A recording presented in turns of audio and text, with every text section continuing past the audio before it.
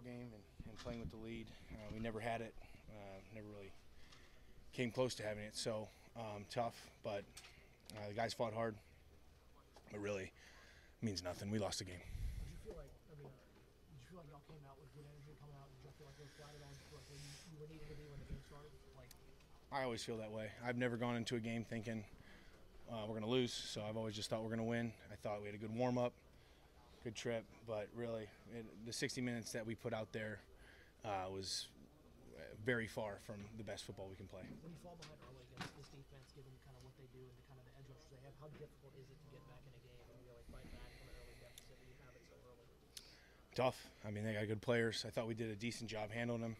Um, it's, I don't think any of them ruined the game. So, but I mean, it was a collective effort by all everyone who played today. Um, I don't think anyone's going to get on the plane feeling I played really good. Um, but we got two weeks to play, and we still have things to play for.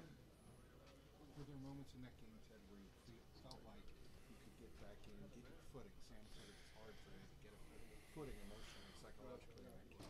That, that, that can happen. I think the Tee touchdown sparked, uh, you know, was what we were hoping for, someone to make a play. Um, but really, the game was was in their control from start to finish. There's not much you can say about, you know, if we did anything. We didn't really do anything good today. the fourth and inches play when you guys were down for five. Did it feel like that was something that could have turned things back in your momentum and converted?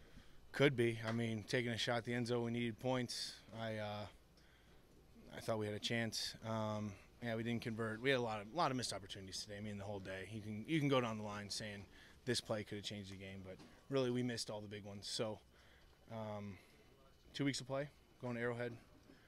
Going to be a big matchup against one of the conference's best. So, let's see what we got.